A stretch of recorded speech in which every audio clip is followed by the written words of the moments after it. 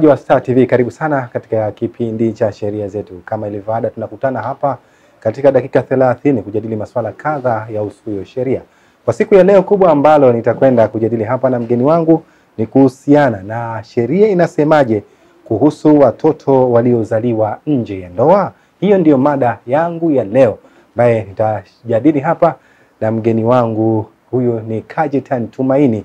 Huyu ni afisa sheria kitengo cha familia kutoka Kituo cha Sheria na Haki za Binadamu LHRC. Mimi ni Athumani Mihula, lakini nikukumbushe tu kipindi hiki kimekuja kwako kwa udhamini mkubwa wa Kituo cha Sheria na Haki za Binadamu LHRC. Baki nami mpaka tamati ili ufahamu mengi zaidi.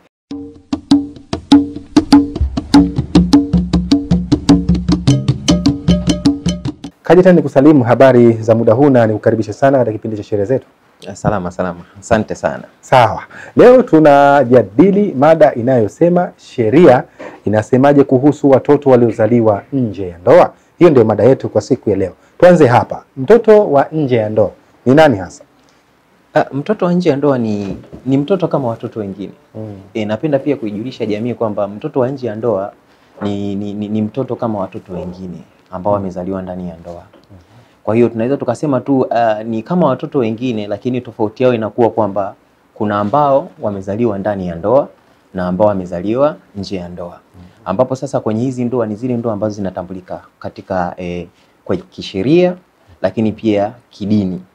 Kwa hiyo sasa mtoto anapokuwa amezaliwa nje ya hapo, maanake huyo mtoto anakuwa ni wa nje ya ndoa. mm -hmm. E, lakini ni watoto kama watoto wengine ambao Mm. tunawajua hawana utofauti, hawana utofauti mwingine. wowote kwa sababu Mm. -hmm. ni, ni, ni, wa, ni wako chini ya umri wa miaka kumi na nane. Mm. E, tofauti ni kwamba tu wamezaliwa nje ya muungano ule ambao Mm. unatambulika kisheria na kidini Mm. ambao sasa ndo tunaita ni ndoa. Sasa sasa hii sheria yenyewe inasemaje sasa kuhusu watoto wao E, tumeona kwamba hawana tofauti kikawaida, kimazingira ha, hawana tofauti, lakini kisheria inasemaje?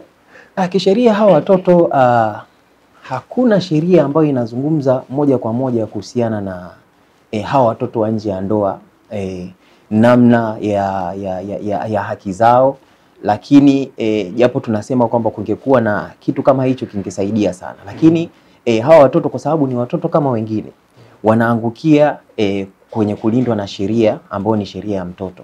Tanzania tuna sheria ya, ya, ya, ya, ya mtoto ambayo ni, ya, ni ile ya mwaka elfu mbili na tisa ambayo inatoa mwongozo wa haki zote za watoto. Ambapo sasa ni pamoja na hawa, haibagui kwamba inazungumzia watoto watoto wote kama watoto kwa ujumla. Mm. Kwa hiyo hawa ni watoto ambao ni, ni kama nilivyosema mwanzoni kwamba ni watoto kama watoto wengine. Utofauti wao ni kwamba watu wamezaliwa nje ya muungano, lakini e, muungano wa Mbulu ambao unatambulika kidini na kisheria Mm. lakini ni watoto kama wengine na wanapaswa kupata haki zao kama wengine, kwa sababu pia hata sheria sheria za kwetu pia Mm. ha hizi sheria mama ambayo tunayo haibagui, na tunapozungumzia haki za binadamu, maana yake tunazungumzia kwamba hamna ubaguzi hapo. Kwa hiyo tunapozungumzia mtoto ni mtoto kama mtoto, na, na, na, na, na sheria ya mtoto inatumika kwa ajili ya kuwalinda hawa watoto wengine Mhm. ambao wako nje ya ndoa. Sasa eh, katika umezungumzia hapo, wana haki sawa. Haki hizi katika maeneo gani?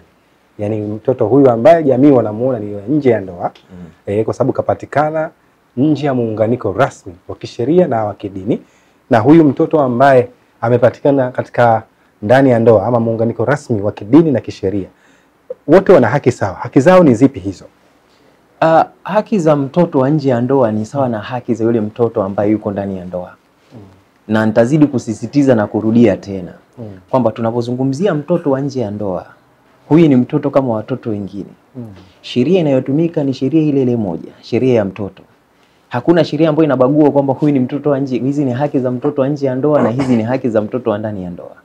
Sheria yenyewe inatambua, unapoenda kwenye kuzungumza maana ya mtoto, sheria inazungumza ni yule mtu yeyote ambaye yuko chini ya umri wa miaka kumi na nane. Maanake hata, hata watoto wa nje ya ndoa sasa wanakuwa wanaingia katika, e, katika kundi hilo la watoto. Kwa hiyo zile haki zote ambazo zina zina, zina, zina, zinaainishwa kwenye ile sheria ya watoto e, ikiwepo pamoja na haki ya kukaa na wazazi, haki ya kutoa maoni, haki ya kupata malazi, haki ya kufurahia e, mali za wazazi. Hizi zote ni kati ya haki ambazo zina, zina, zinatamkwa na sheria na hizi ni haki ambazo wanapaswa pia kuzifurahia wao kama watoto. mm. kwa sababu e, tukienda tukizungumza mbali tunaona kwamba mtoto anapozaliwa sio yeye kuchagua kwamba azaliwe wapi, azaliwe nje au ndani ya ndoa.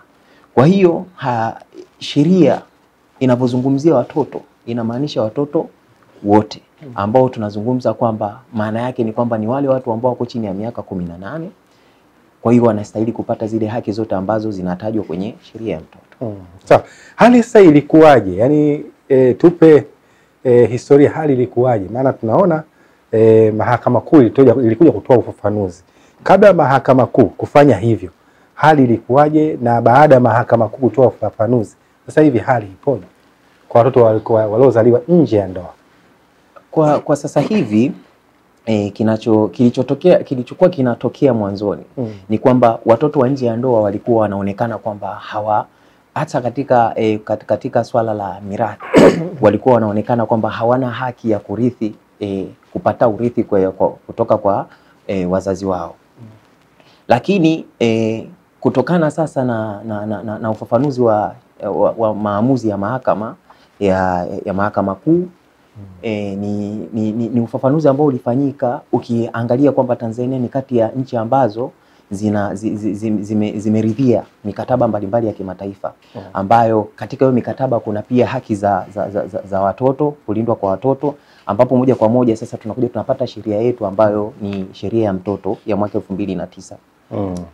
Kwa hiyo kwa kufafanua hizi sheria mbalimbali na mikataba, mahakama ilikuja ikafafanua na kuona kwamba mtoto wa nje ya ndoa ana haki ya kupata urithi kutoka kwa wazazi wake kama walivyo watoto wengine ambao wako ndani ya ndoa. mm -hmm. Na katika ufafanuzi wake iliweza kuzungumza pia na kueleza kwamba e, unapozungumzia mtoto, mtoto yeye hana, hana maamuzi ya kuzaliwa ndani au nje ya ndoa mm -hmm. na ilienda mbali pia na kuzungumza ikaeleza ika, ika, ika kwamba e, hakuna mtoto ambaye ni mpumbavu lakini wazazi ndo wanaweza wakawa wapumbavu.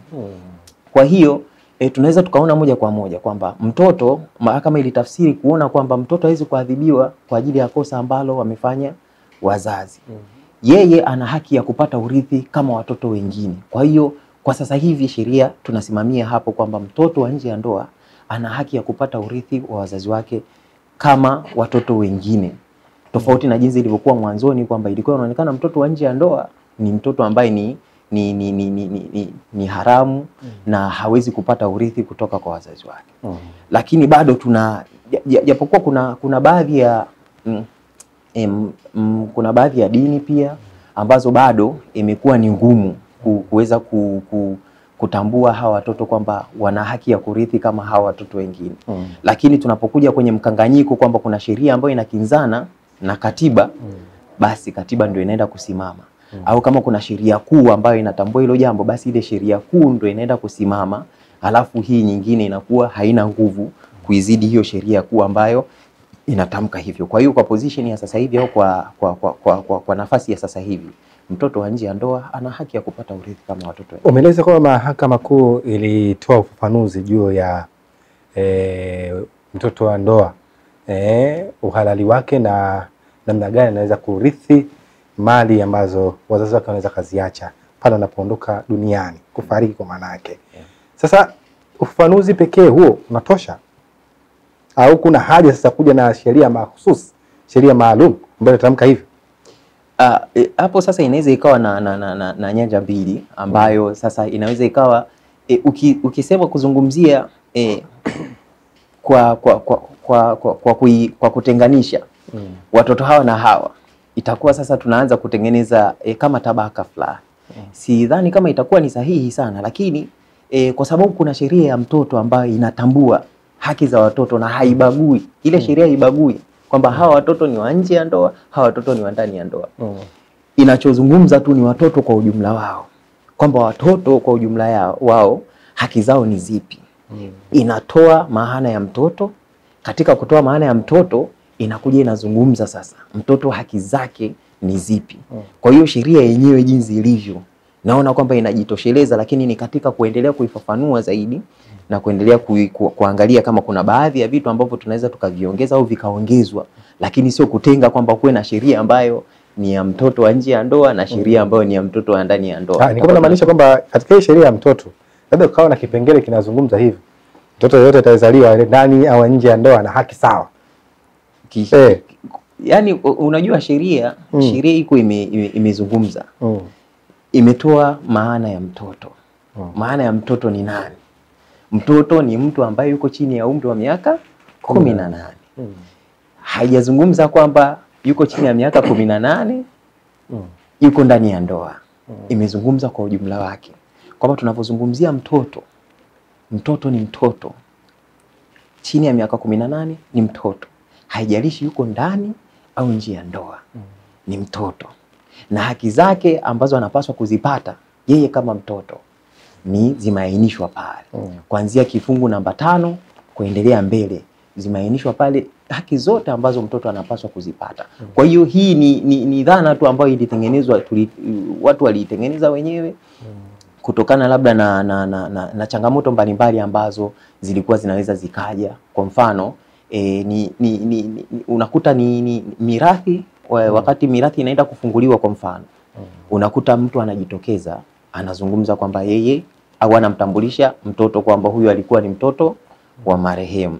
Kwa hiyo kutokana na changamoto hizo mbalimbali ndio ikapelekea e, sheria sheria zingine e, baadhi ya, ya, ya dini na baadhi ya makabila ku- kuweza kuja kwa ajili ya kusimamia kile kitu ambacho wanaamini kilikuwa ni, ni sawa kwa ajili ya kulinda mali za marehemu.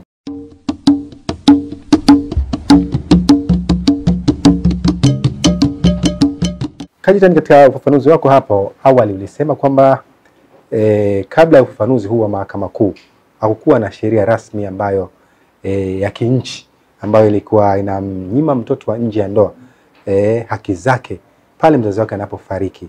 Sasa imani hizi za kidini na kikabila zilimletea athari gani mtoto ambaye alizaliwa eh, nje ya ndoa kwa wakati ule kabla kama Kuu haijaleta ufafanuzi? Eh, ka- ka- katika kum, zilimwathiri na sio kama zilimwathiri tu, mpaka sasa hivi kuna watoto ambao wanakuwa wanaathirika kutokana na hizi imani za kidini na kimila, hasa kuhusiana kwenye eh, swala zima la, ku, la, ku, la, ku, la kurithi eh, mali za wazazi au kufurahia zile mali za mzazi. E, kikubwa ambacho wamekuwa wakiathirika zaidi ni ubaguzi na kutengwa. Na hiyo nimeizungumza tu katika e, katika e, katika upana wake. E, lakini ukienda huko ndani sasa ndio utakuta kwamba katika ku, swala la kutengwa ni ile kwamba e, una, una, una, una, una, kuna vitu ambavyo unaweza akashirikishwa kwa, kwa uchache na kuna vitu ambavyo hashirikishwi kabisa kwa sababu tu ye ni mtoto wa nje ya ndoa. Katika ubaguzi ni ile anabaguliwa kabisa kwamba huyu anaonwa kama sio eh, si- sio sio miongoni mwetu. Kwa hiyo huyu eh, ni, ni, ni, ni, ni, alikuwa anachukuliwa kama ni, ni mdhambi hivi au ni mtu ambaye ni, ni, ni, ni, ni kama mpotevu ambaye hana haki ya, ku, ya, ku, ya, ku, ya kupata chochote au kufurahia chochote kuhusiana edha na familia, kuhusiana na wazazi. Kwa hiyo ilikuwa kuna imewaathiri kwa, kwa, kwa namna hiyo kwamba wame, wamepitia katika e, ubaguzi, wanapitia katika e, ku, ku, katika kutengwa. Kwa hiyo ni kati ya vitu ambavyo wanakuwa wanavipata wana, wana, wana, wana, wana au wanakuwa wana wanakuwa wana, wana, wana, na, wana, navyo na mwisho wa siku vinaweza pia vikawaathiri katika saikolojia, na mara nyingi tumekuta tuna tuna watoto wa mitaani pia ambao tunawakuta au ni, ni watoto ambao baadhi yao unakuta ni katika kutengwa au kubaguliwa, hawajaweza kufurahia mali za wazazi wao, na wengine unakuta kwamba wazazi wao walikuwa ni watu ambao walikuwa wanajiweza vizuri, walikuwa wana uchumi mzuri, lakini ndugu au wale wengine ambao wako ndani ya ndoa wamewazuia kuweza kufurahia au kupata chochote kinachohusiana na eh, zile mali za wazazi. Kwa hiyo ni vitu kama hivyo ambavyo wamekuwa waki, wakikumbana navyo. Mm. Sawa. Tu- Tuje sasa eh, kwa, kwa, kwa upande sasa sasa hivi tuna sheria ndio, lakini bado eh, baadhi ya makabila au baadhi ya imani zipo au baadhi ya makabila wana, wana, wana, wana, wanasimamia katika imani hizo kwamba mtoto wa nje ya ndoa eh, hana haki au hatambuliki. Ehe. Sasa unashauri nini wazazi hawa ama wazazi wafanye nini wakiwa hai bado hawajaondoka? Mm. E, jambo la muhimu la wazazi kufanya Mm. cha kwanza kabisa ni kuhakikisha kwamba hawa watoto wanatambulika. Wanatambuliwa kwa mantiki gani? Kwamba ndugu wa hawa wazazi wanawatambua hawa watoto kwa wakati ambao una, unafaa. Mm. E, migogoro mingi ya mirathi katika urithi hasa kwa watoto wa nje imekuja kuwa pale tu mtoto anapokuwa anatokeza wakati ule kwamba mirathi ndio iko mezani, alafu ndo mtoto anakuja anasema labda mimi nilikuwa ni mtoto wa marehemu, au mama au mzazi wa mtoto anakuja kusema mtoto alikuwa ni, mza, ni, ni, ni, ni mtoto alikuwa ni mtoto wa marehemu. Hapo ndo changamoto nyingi huwa zinakuaga nyingi sana, tofauti na kwamba anaweza akawa alishatambuliwa kwa hiyo yawezekana kuna changamoto lakini isiwe kubwa kama hii kwamba hakutambuliwa kabisa. Kwa hiyo jambo la kwanza la kuwashauri wazazi ni kuwatambua hawa watoto, kuwatambulisha kwa ndugu, jamaa na marafiki waweze kuwajua hawa watoto. Hmm. Lakini pia changamoto imekuwa kwa, kwa kina baba wengi e, ni vigumu sana kwenda kumtambulisha mtoto wa nje ya ndoa kwa mke. Mara nyingi huwa inaleta changamoto na kuna baadhi ya, ya migogoro migogoro ambayo pia imekuwa ikiendelea haswa kuhusiana na haya mambo ya, ya watoto wa nje ya ndoa. Hmm. Lakini mimi napenda kuwashauri kwamba kuwaendelea kuwatia moyo wawatambulishe. Kama ikishindikana kwa mke, basi kwa ndugu inawezekana, kwa sababu imekuwa pia ni rahisi sana kiuhalisia baba kwenda kumtambulisha mtoto wake kwa ndugu yake, mdogo wake, kaka yake, dada yake au familia yake kwa upande wa mzazi kuliko kwenda kumtambulisha kwa mke wake. Kwa hiyo hilo ni jambo la kwanza, utambulisho, kuwatambua watoto. Lakini jambo la pili ni tunaweza kuandika wosia wakati ule, wakati bado wako na afya njema, wakati bado wana, wana uwezo wa kuwatambua, wanaweza wakawaandika na kuwatambua kwenye kwenye wosia.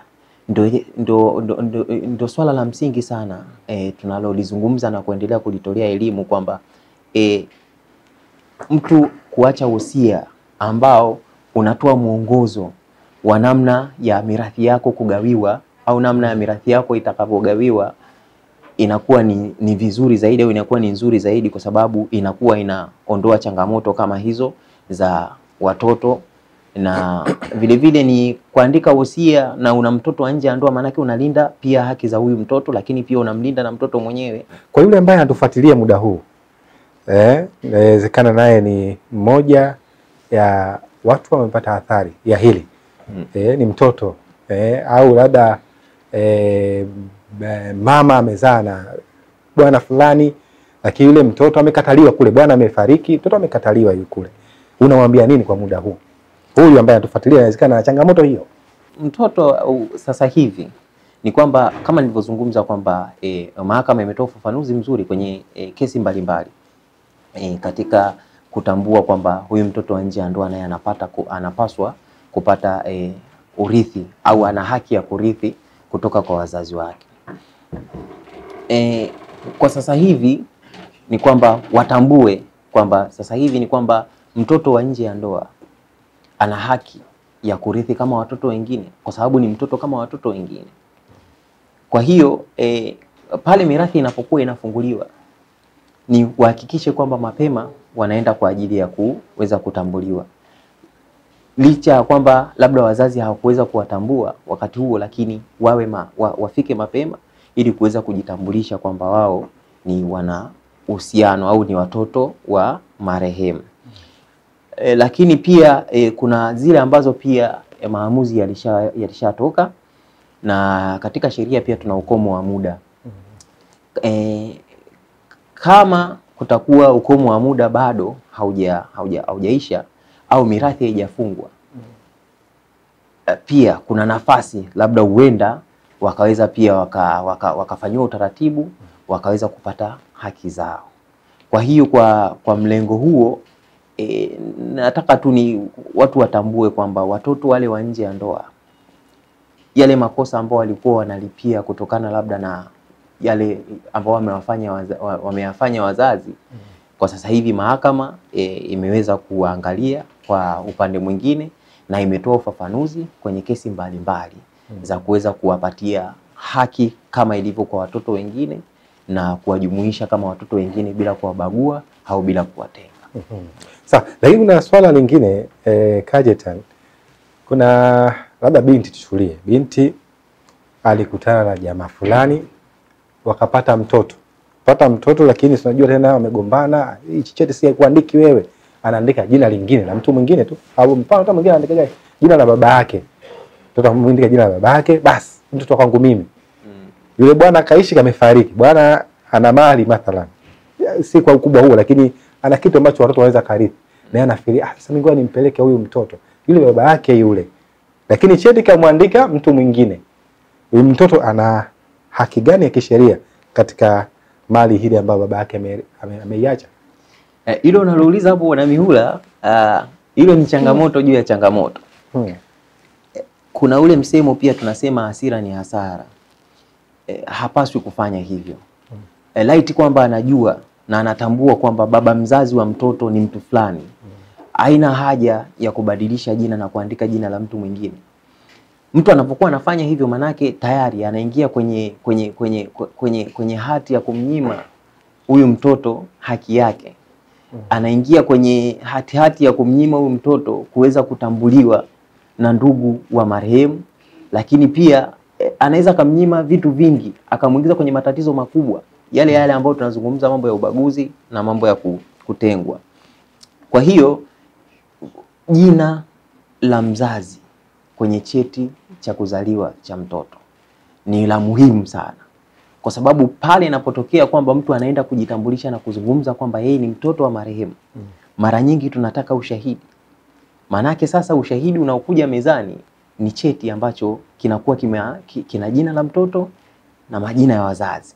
Sasa unapokuta kile cheti tena hakina jina la mzazi, inakuwa tena ni changamoto nyingine, au inakuwa tena ni kikwazo kingine ambacho kina- kinaweza kitamsababishia, sio kinaweza, kitamsababishia huyu mtoto kuweza kupata haki zake za msingi ambazo ni kwa mfano haki ya kurithi, lakini pia kufurahia mali za, za mzazi wake au wazazi wake. Hmm. Sawa, tunaelekea ukingoni mwa kipindi chetu.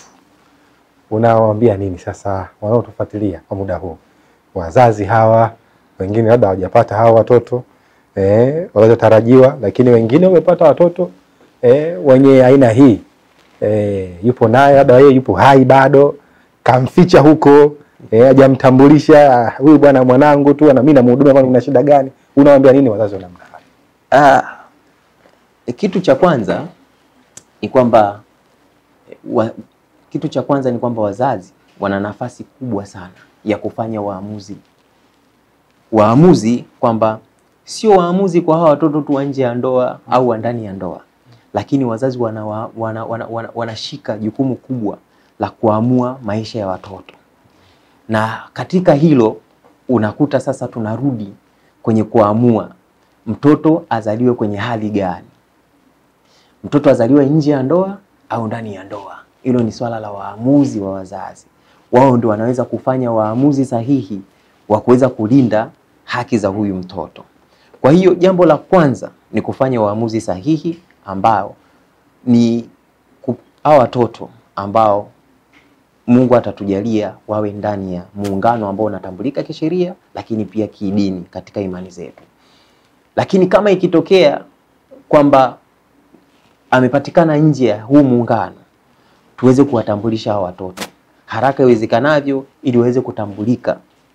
Tunafanya hivyo sio kwa ajili ya mzazi au sio kwa ajili ya labda bwana Mihula peke yake, ni kwa ajili ya yule mtoto, kwamba unamtengenezea yule mtoto mazingira ya kuweza kuishi kama watoto wengine, kuepuka ubaguzi, kuepuka kutengwa. Lakini eh, pia we- nachoweza kuwaambia kwamba ni kwamba wale watoto ambao tayari Mm. wako nje ya, ya, ya, ya muungano ambao unatambulika kisheria, yaani ndoa Mm. unatambulika pia kidini, kwamba mahakama imeshatoa ufafanuzi. Kwa hiyo kama wanatambulika na wanatambuliwa na wana ushahidi ambao unaonyesha kwamba wao ni watoto wa edha ni ni, wa, ni, ni, waza, ni, ni watoto wa hawa wazazi ambao wamewapata nje ya ndoa, manake kwenye haki ya kurithi wao wanapewa nafasi kama watoto wengine. Hamna tofauti na watoto wengine ni kwamba ni ushahidi, ni kuthibitisha kwamba wao wana, wao ni watoto wa marehemu. Kwa hiyo wakishathibitisha hivyo, maanake wanaweza kupata haki zao, lakini kama ili ni kwa wale ambao tayari imeshatokea Mm. lakini kwa wale ambao haijatokea bado haina maana ya ku, ya ku, ya ku, ya kuwaweka watoto katika eh, nafasi ngumu, katika matatizo, katika hali ya kutengwa au kubaguliwa, kwa sababu bado tuna uwezo wa kuzuia hivi vitu visiweze kutokea. Kwa hiyo tusubiri kwenye miungano ambayo ina inatambulika kidini, inatambulika kisheria, halafu tuweze ku, kuwa na hao watoto ili basi tuweze kulinda hizo haki zao na watakuwa kwenye hali salama zaidi. Asante, lakini wababa ndio wanaficha sana hawa watoto eh, mwisho wa siku, sababu mimi naamini bila shaka hata wanaokuja kituoni ni wamama wengi, wamama Ni kweli, ni Eh? kweli, ni kweli. eh. Na kama nilivyosema mwanzo, Bwana Mihula, mm. ni kwamba imekuwa ni changamoto sana baba kumtambulisha mtoto wa nje kwa mke wake, Mm. ikiwa na dhana kwamba analinda ndoa yake, kwamba akitambulisha kwa mama, wewe ni mtoto wa nje ya ndoa, itakuwa changamoto na moto utawaka Eh. na yanaweza yakatokea. Kwa hiyo mara nyingi wamekuwa wakizunguka Yawezekana wewe bwana Mihula una kaka yako ukamwambia kaka, Mm. ukamwambia shangazi, ukamwambia ba- baba, mama, Mm. lakini mke Hajui. hawe hajui, na mara nyingi imekuwa hivyo kwamba hata wanawake wanaokuja Mm. wanakuja wakilalamika kwamba huyu mtoto ndugu wanasema kwamba wanamtambua, lakini mm. mimi hajawahi kuniambia kama ana mtoto wa, wa, wa nje hajawahi kuniambia labda ana, kunitambulisha labda na mtoto au kitu kama hicho. mm. Kwa hiyo imekuwa ni changamoto, lakini cha msingi au cha cha msingi kabisa ili kulinda haki za watoto ni kuwatambulisha na tuhakikishe kwamba tunawaacha kwenye kwenye hali salama ili kuweza ku, kupata zile haki zao za msingi ambazo wanastahili. Sawa, mimi nikushukuru sana Kaji tena Ah, shukrani sana kwa kuhitimisha hivyo. Bila shaka e, mtazamaji ambaye wanafuatilia amepata elimu ya kutosha kabisa, na natumai watafanyia kazi kile ambacho umewaeleza sawa sawa. Mtazamaji wa Star TV, kipindi cha sheria zetu hakina la ziada, kimefikia ukingoni kwa muda huu. Takriban nilikuwa nawe dakika thelathini. E, mimi hapa na afisa sheria kitengo cha familia kutoka kituo cha sheria na haki za binadamu LHRC Kajetan Tumaini, tukiwa hapa kwa pamoja, tulikuwa tunajadili sheria inasemaje kuhusu watoto waliozaliwa nje ya ndoa. Hiyo ndiyo ilikuwa mada yetu kwa siku ya leo. Bila shaka wewe ume ambaye uliungana nami tangu eh, napo nilipoanza kipindi hiki, bila shaka umejifunza mengi sana. Kifupi, unatakiwa ufanyie kazi, lakini na kama unaye mtoto basi tambulisha apate haki zake. Mimi ni Athmani Mihula. Kama una lolote lile, niandikia tia namba ambayo unaiona hapo katika luninga yako, jumbe wote ule, swali, maoni, ushauri, itakuja kufanya kazi. Nikukumbushe tu kipindi hiki kimeletwa kwako kwa udhamini mkubwa wa Kituo cha Sheria na Haki za Binadamu LHRC. Wao ndio waliofanikisha mimi na wewe tunaonana hivi, tunaelezana masuala haya ya kisheria. Mimi na wewe tukutane juma lijalo hapa hapa Star TV katika sheria zetu, ili ufahamu mengi sana yanayohusu sheria. Kwa heri, uwe na siku njema. Endelea kufuatilia Star TV, endelea kufuatilia sheria zetu.